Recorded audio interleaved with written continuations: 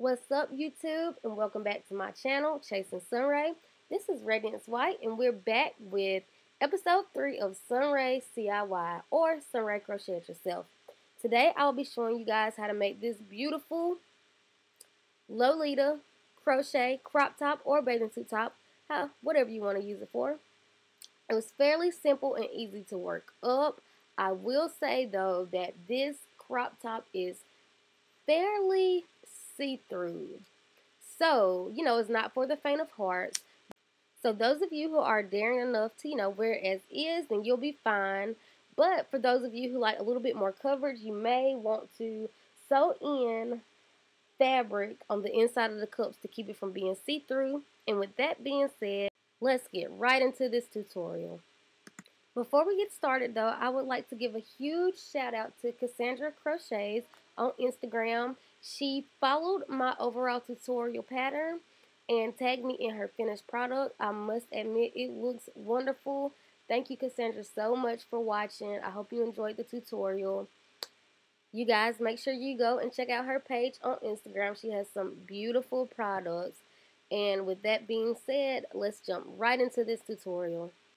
For today's project, we will be using a 5mm hook, some size 4 cotton yarn. I'm using I Love This Cotton by Hobby Lobby, a pair of scissors, and the written pattern if you need to follow along.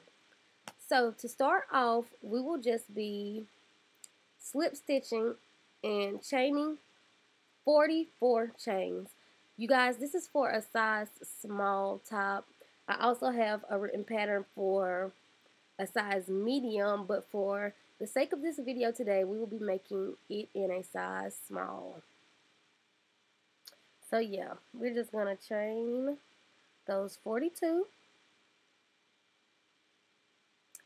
And once we chain those 42, you're going to want to double crochet in the third chain from the hook and double crochet all the way down placing a stitch marker in your 21st double crochet. So yeah, you're double crocheting all the way down.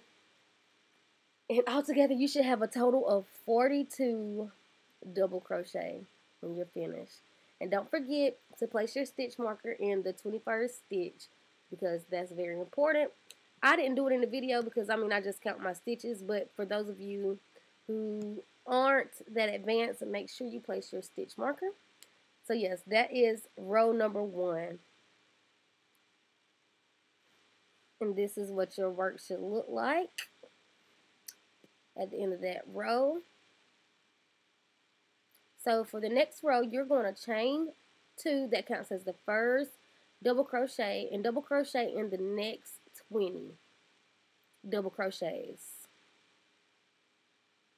This is where we start to make the first cup.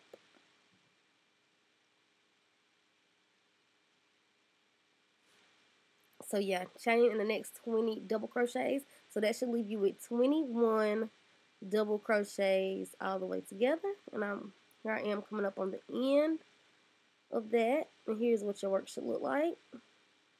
Now you're going to want to chain two, turn your work, and you're going to skip the next double crochet, that second one right there, and go right into the next one.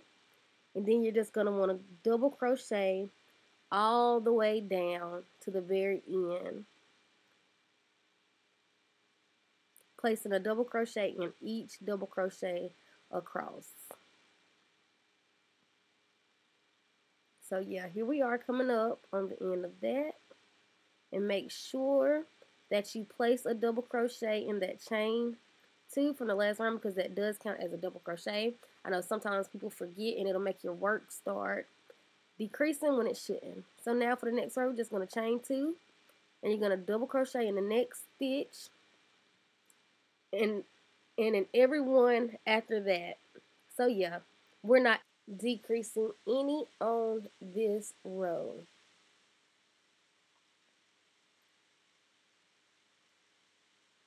So here we are coming up on the end of this row. I'm just going to double crochet in those last two double crochets.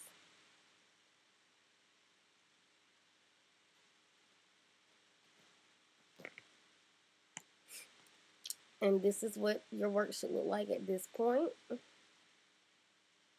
Now chain two, turn your work. And we're going to skip the next stitch and go right into the stitch after that. And then you're just to double crochet all the way down.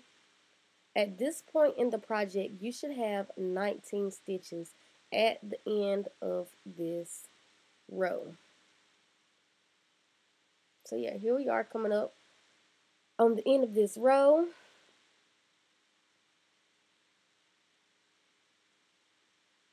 Yep, this is what your work should look like at this point.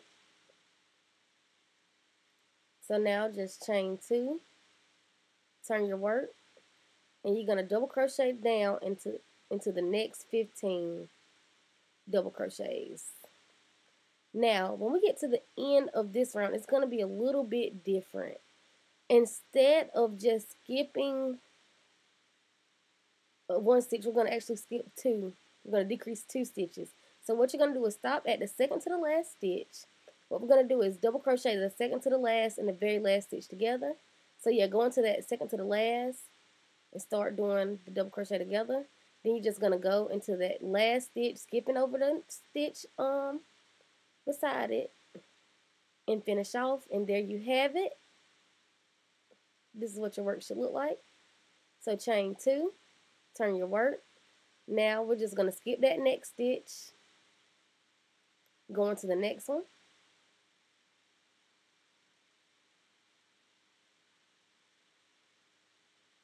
And you're just going to double crochet all the way down. At this point in the project, when you get to the end of this row, you should have 16 stitches.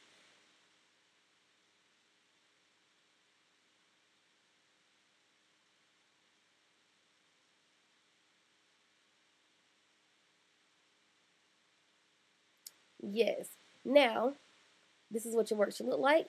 With the next row, we're actually going to decrease on both sides this time. We're going to start decreasing the outside edge. So chain two, turn your work, and you're going to skip that next stitch and go straight into the stitch after that. And when you get to the end of this round, we are going to decrease like we decreased in the last one, where we stopped at the second to the last stitch and double crochet the second to the last stitch and the very last stitch together skipping over that stitch in the middle. So yeah, here we are. We're just going to do this again. Show you how to do it again in slow motion.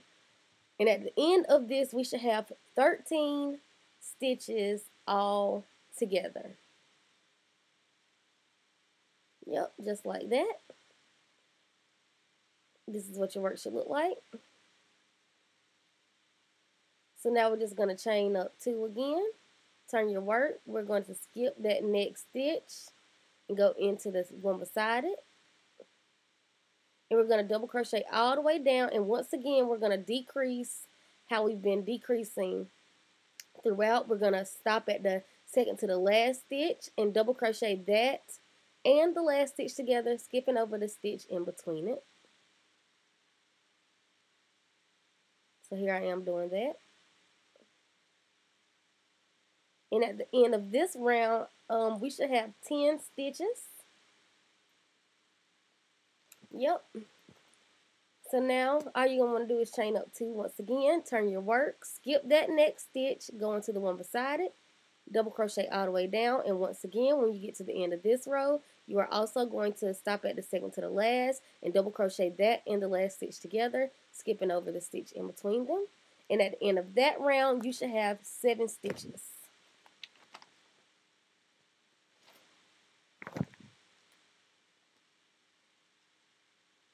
Yep, this is what your work should look like at the end of that.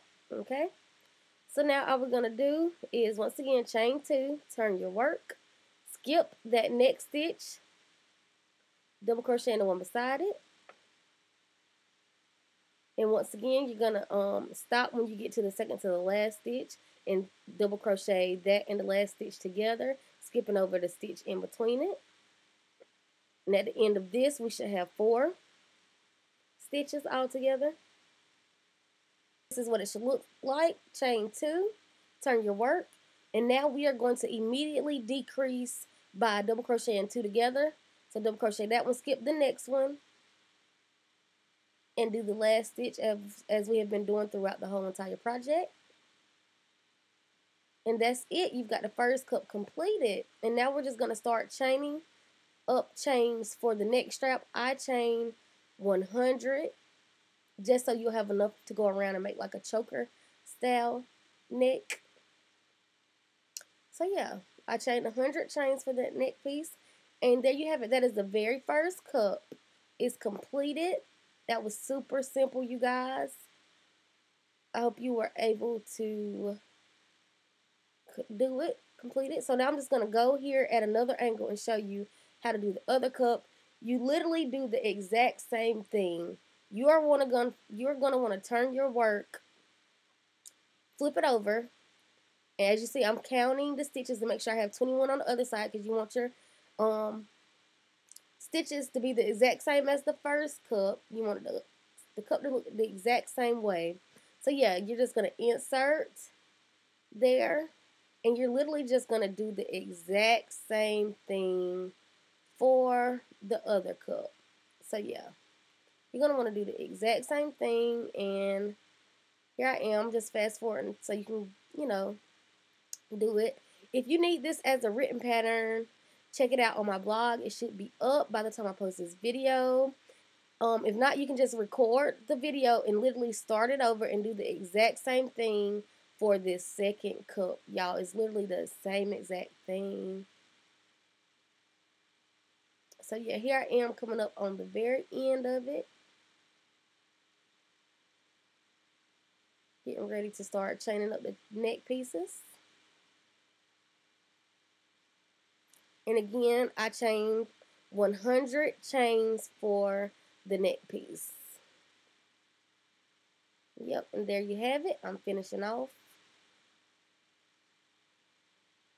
And you guys, when I um went to fake try on this top, I didn't realize that it was twisted up.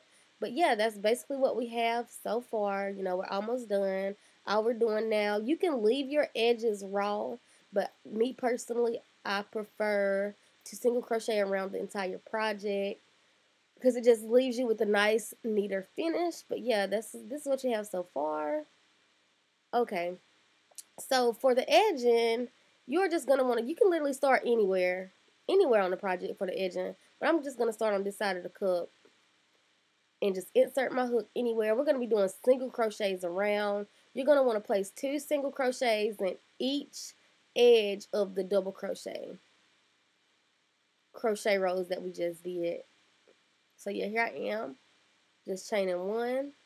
Now I'm about to place two double crochets in that first double crochet edge. No, as you can see. Yeah, you're just going to go all the way around till you get to the first corner. The first corner to make the first side strap.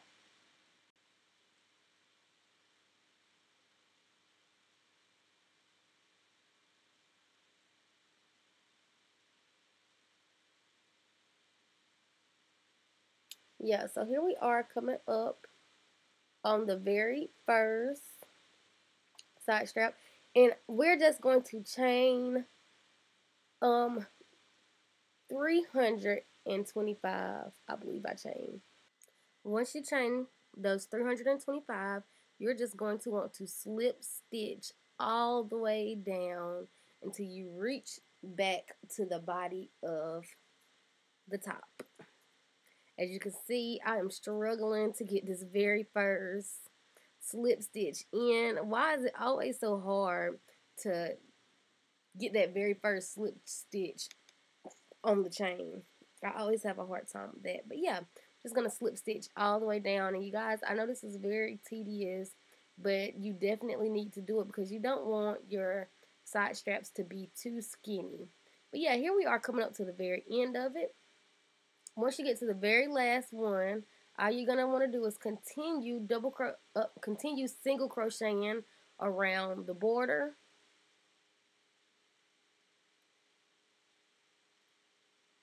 Yep, just placing a single crochet in each of the bottom double crochets.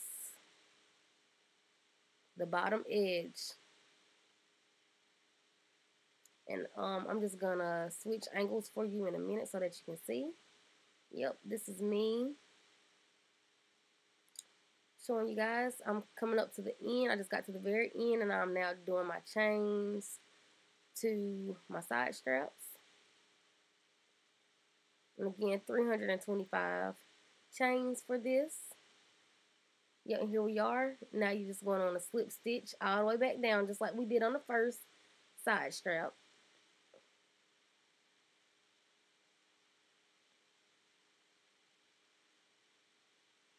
Yep.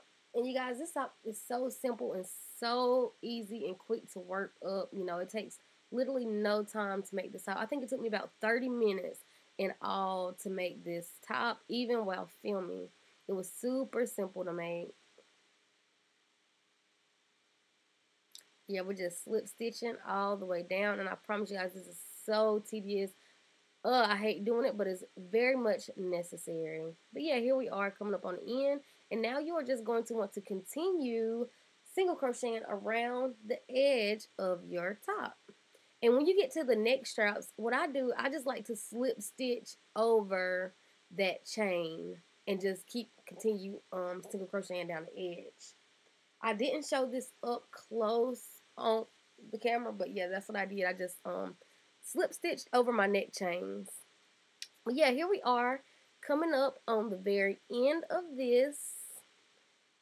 And that is it, you guys. You're just going to want to slip stitch into that very first single crochet and finish off. And there you have it. Your top is completed.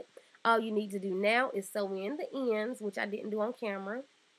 But yes, that's it. You're done. Done with this top. As you can see, I'm just playing around showing you guys what it looks like. What it looks I can never say that. It's like a tongue twister. What it looks like. Oh, I still can't say what it looks like. But yes, that is it. That is your finished top. I hope you guys enjoyed this tutorial. I hope you guys were, you know, able to make the top. I hope it was, my instructions were clear. I enjoyed showing you guys this. I hope you guys enjoyed the video. And the once we get to a thousand subscribers, I will be showing you a video tutorial on how to make this marijuana bathing suit. This is my own design. Be sure to like, subscribe, and comment and let me know how you feel about this tutorial. You know, I really enjoyed it. I hope you guys enjoyed it. And until next time, stay sunny and happy crocheting. Thanks for watching.